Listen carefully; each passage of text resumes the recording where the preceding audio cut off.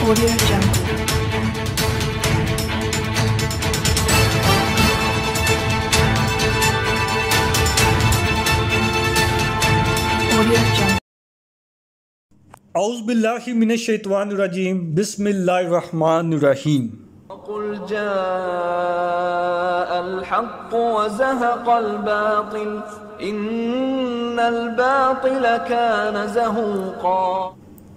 आज अफ़गानिस्तान की सूरत हाल यकसर बदल चुकी है। अशरफ गनी भागकर ताजिकिस्तान चला गया। हिंदुस्तान में सफ़े मातम बिछ गई। दूसरी तरफ़ तालिबान अल्लाह अकबर का नारा लगाते हुए काबुल में दाखिल हो गए। एक वक्त था जब रूस ने अफ़गानिस्तान पर हमला किया तो अफ़गान तालिबान ने गैर मुल्की अफवाज का डटकर मुकाबला किया और आखिरकार रूस को अफ़गानिस्तान से निकलना पड़ा। लेकिन उस वक़्त अमेरिका तालिबान की मदद कर रहा था। इसलिए उस वक़्त दुनिया में ये तासुर था कि तालिबान नहीं, बल्कि अमेरिका ने रूस को शिकस्त दी, क्योंकि उस वक़्त अमेरिका तालिबान की मदद कर रहा था। लेकिन इस दफ़ा जब अमेरिका और ताकतवर तरीन यूरोपीय ममालिक की अफवाज नेटो तालिबान से बरसरे पेकार थी और इन ताकतों ने तकरीबन 20 साल तक जदीद असला और लेटेस्ट टेक्नोलॉजीज़ की मदद से तालिबान को शिकस्त देने की कोशिश की। लेकिन तालिबान अल्लाह की मदद से डटे रहे।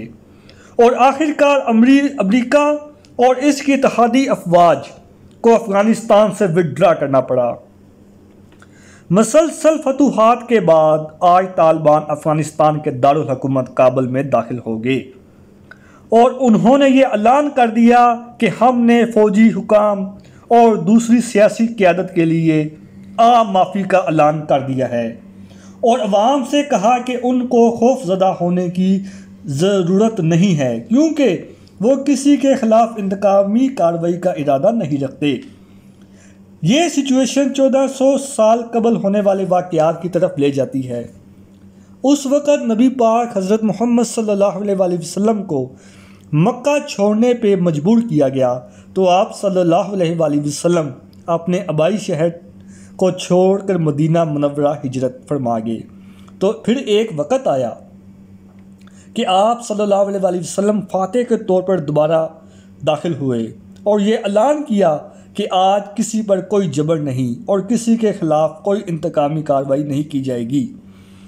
आज इस्लाम को अफ़गानिस्तान में फ़तह उस वक़्त मिली जब हर तरफ़ मुसलमान अपने अल्लाह पर पुख्ता यकीन ना होने पर पिस रहे हैं और ज़िल्लत का शिकार हैं। और तालिबान, जिनको अल्लाह पर यकीन था और वो इसके सवा किसी से नहीं डर रहे थे तो वो कामयाब और कामरान हुए। इससे हमें ये सबक मिलता है कि अगर मुसलमान, जो एक अल्लाह, एक रसूल और एक कुरान को मानने वाले हैं तो वो अगर एक हो जाएँ, अल्लाह पर भरोसा करें और अपने तमाम मामला उसके अहकाम के ताबे करें तो कोई वजह नहीं कि इस्लाम पूरी दुनिया में गालिब आ जाएगा। इन अल्लाह हम सब का हामी नासिर हो। पाक फ़ौज, जिंदाबाद, पाकिस्तान, पाइंदाबाद।